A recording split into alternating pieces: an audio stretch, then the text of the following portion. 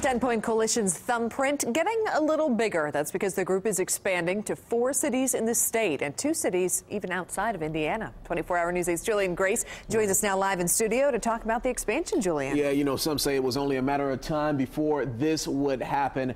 And those peacekeepers, well, they're keeping the peace and they have a track record of decreasing violence in neighborhoods. So what happens next? Other cities are seeing violence of their own and they started calling 10 Point for help.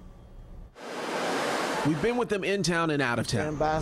We've seen and heard how they decrease crime in some areas of our city. Thank you so much for coming. And today we found out we are not the only ones who know about this feat. Evansville, Indiana, and Cleveland, Ohio. These cities you're hearing Louisville, Kentucky.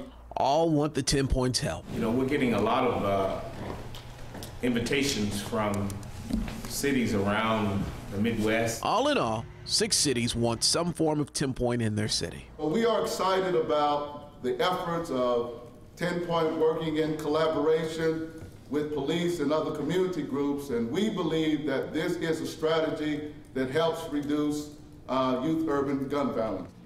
The goal is to make this happen. By the end of 2017, 10 Point could be in all six cities. And that's not all. The Attorney General's office is pushing it through the state. We have an opportunity through the position, through the Attorney General's office, to be kind of a bully pulpit to help rally people together, to help bring law enforcement on board, and um, to help engage community actors who otherwise may not be interested or not engaged.